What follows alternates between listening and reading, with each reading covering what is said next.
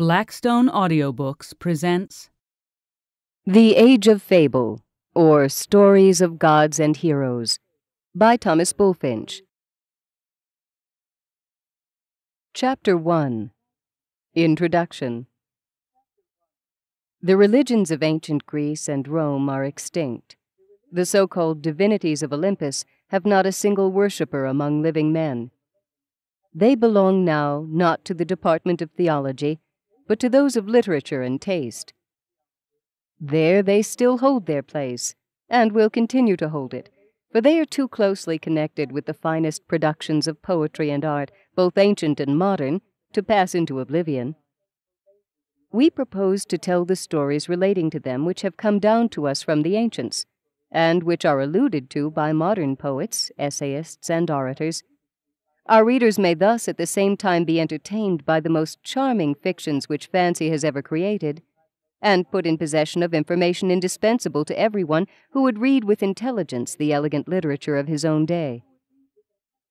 In order to understand these stories, it will be necessary to acquaint ourselves with the ideas of the structure of the universe which prevailed among the Greeks, the people from whom the Romans and other nations through them received their science and religion. The Greeks believed the earth to be flat and circular, their own country occupying the middle of it, the central point being either Mount Olympus, the abode of the gods, or Delphi, so famous for its oracle. The circular disk of the earth was crossed from west to east and divided into two equal parts by the sea, as they called the Mediterranean, and its continuation, the Euxine, the only seas with which they were acquainted. Around the earth flowed the river Ocean, its course being from south to north on the western side of the earth, and in a contrary direction on the eastern side. It flowed in a steady, equable current, unvexed by storm or tempest. The sea and all the rivers on earth received their waters from it.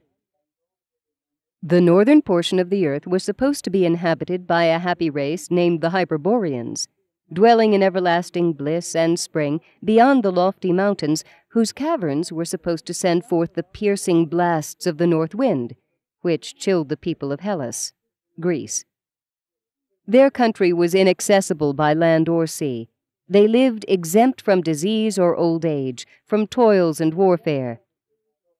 Moore has given us the song of a Hyperborean, beginning, I come from a land in the sun-bright deep, where golden gardens glow, where the winds of the north, becalmed in sleep, their conch shells never blow.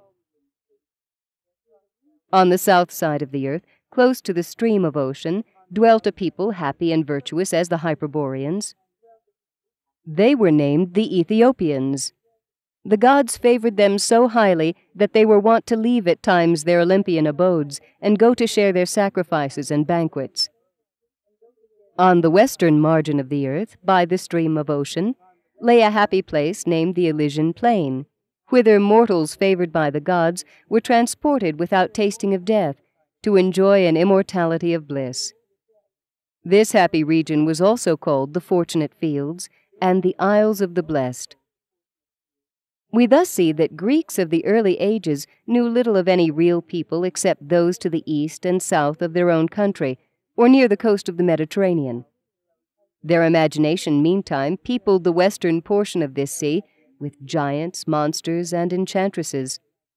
While they placed around the disk of the earth, which they probably regarded as of no great width, nations enjoying the peculiar favor of the gods and blessed with happiness and longevity.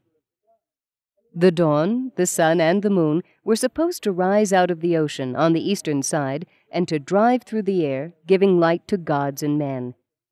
The stars also, except those forming the Wain or Bear and others near them, rose out of and sank into the stream of ocean.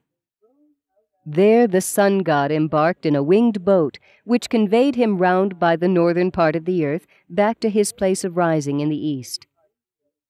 Milton alludes to this in his Comus. Now the gilded car of day his golden axle doth allay in the steep Atlantic stream, and the slope sun his upward beam shoots against the dusky pole, pacing towards the other. We hope you enjoyed this preview. To continue listening to this audiobook on Google Play Books, use the link in the video description.